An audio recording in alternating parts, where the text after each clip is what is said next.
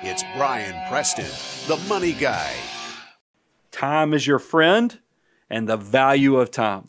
Yeah, again, this is the whole, you know, we, we talked about how powerful compounding interest is. The thing that makes compounding interest so powerful is the time that you apply. And so, just like in most things, it takes time for you to end up achieving some success, no matter what it is you're working towards. Yep. And, and that, let's jump into some quotes because I like some quotes on this because Warren gives perspective. Successful investing takes time, discipline, mm-hmm. and patience. No matter how great the talent or effort, some things just take time. Now, this quote is great, but I was like, can we read this? but here, let's keep it going. So I'll, I'll pick it back up.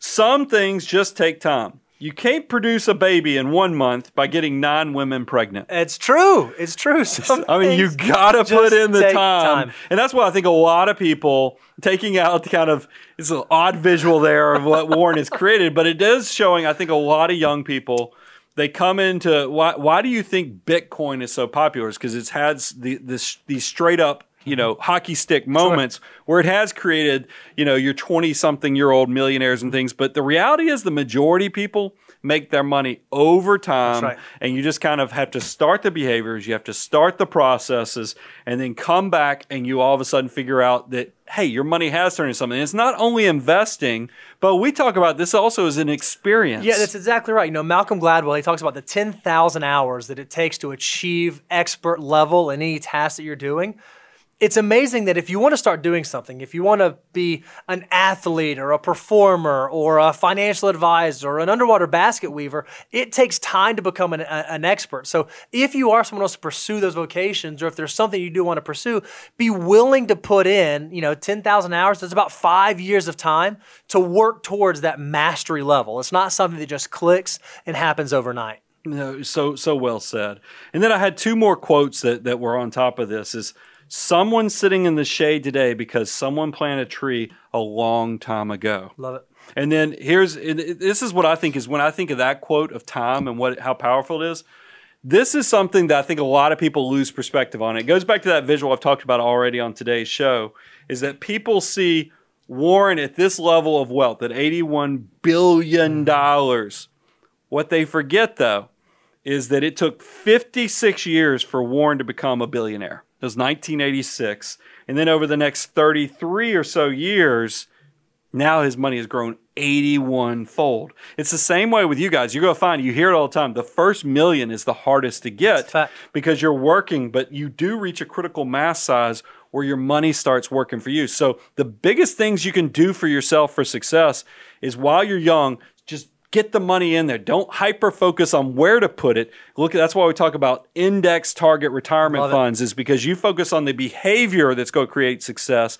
Get into the nuanced stuff after you built your assets up to a critical mass, three, four, five hundred thousand dollars. I love it.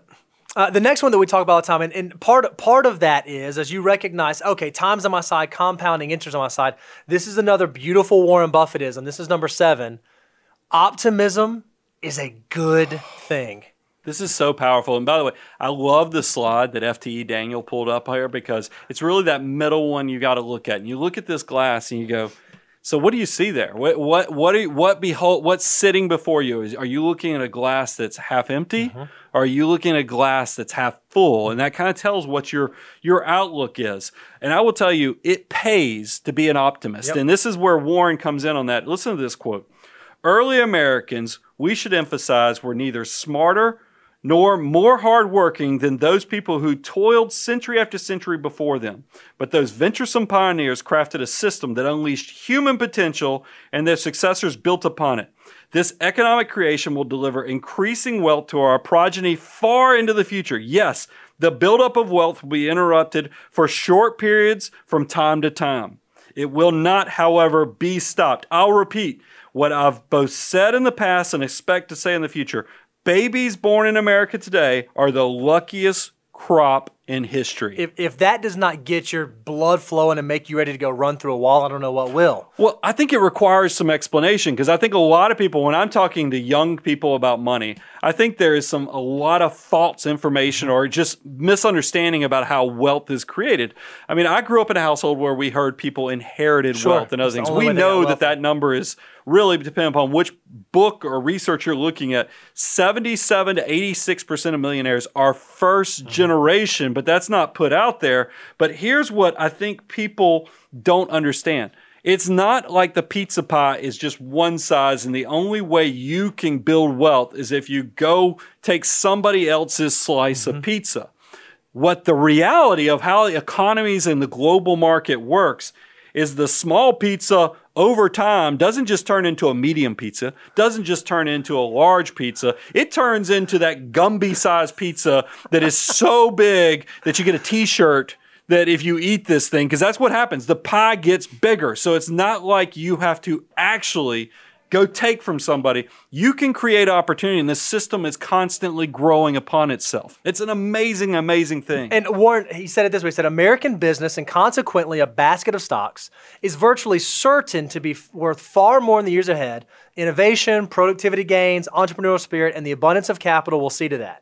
Ever present naysayers may prosper by marketing their gloomy forecasts, but heaven help them if they act on the nonsense that they peddle. I love that part about heaven help them if they actually act. So there's a lot of people selling stuff. It cracks me up when you watch any cable news right now. There's always people pushing, you know, how to start your own seed Mm-hmm. bank, you know, buy our periodical because we got the guy who bought Amazon when he was Yep. first starting out or the guy who called called the last mortgage downturn. Mm-hmm. I mean, there's all kind of things, but forecast you have to be very careful because it's it's just a dangerous dangerous game. But look, we're just two guys sitting here. Don't take our words for it. One of the things that we did is we actually did a survey of all of our wealth management clients that have come to us from the Money Guy show. And we laid out some questions so we could discern what do they think about money and what are some of the things they look at. So when we asked them the question, Yeah.